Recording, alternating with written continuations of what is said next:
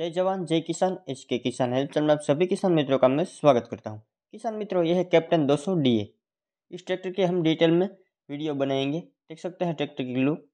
ये ट्रैक्टर आपको दो कलर में ऑप्शन में मिलेंगे। रेड और ब्लू।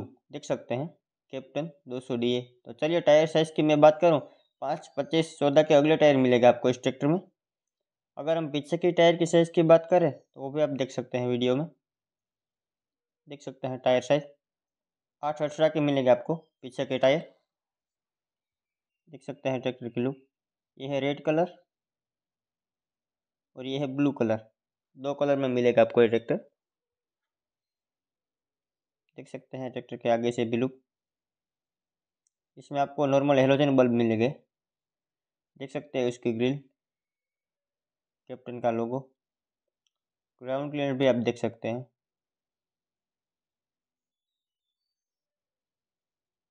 देख सकते हैं ट्रैक्टर।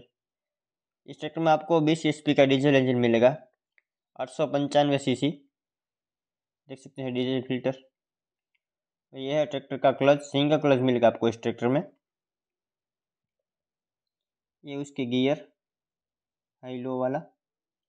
ये उसके गियर देख सकते हैं। आठ forward plus two reverse. Synchromesh gear box मिलेगा आपको। यहाँ से आप बोनेट को ओपन कर सकते हैं। ये उसका हैंड ब्रेक। और इसकी ब्रेक की बात करूँ तो ऑयल ब्रेक मिलेगा आपको इस ट्रैक्टर में। यहाँ से आप रेस्ट दे सकते हैं।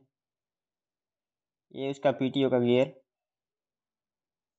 Hydraulic valve. Tool box.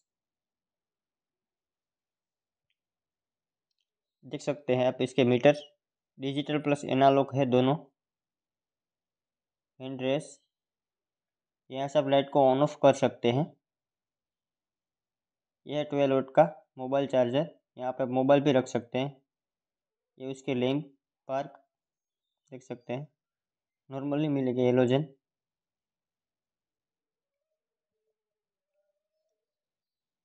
देख सकते हैं ट्रैक्टर की सीट पानी की बोतल रखने के लिए रिफ्लेक्टर ये उसका टोपलिंग देख सकते हैं। दो पॉइंट मिलेगा आपको। यहाँ से आप ट्रिपिंग ट्रॉली कर सकते हैं ऑयल ले जाने के लिए। पावर सप्लाई के लिए सॉकेट ये उसकी हाइड्रोलिक 600 जी की हाइड्रोलिक कैपेसिटी है इस ट्रैक्टर में आपको। देख सकते हैं पीटीओ सत्रह एच की पीटीओ मिलेगी मल्टी स्पीड पीटीओ पाँच सौ चालीस आरपीएम के साथ।